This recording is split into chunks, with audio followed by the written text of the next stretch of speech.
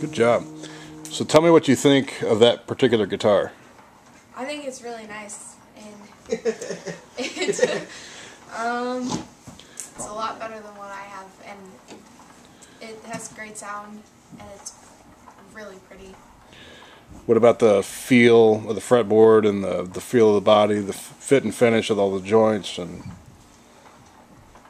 Well, I'm not a genius on that kind of stuff, but um, I really, I it's not. It's it's great. it's not not cumbersome. It feel does it feel pretty fast? Like you can do your chord changes fast Yeah, and yeah. I don't have any problem with with um, the strings or.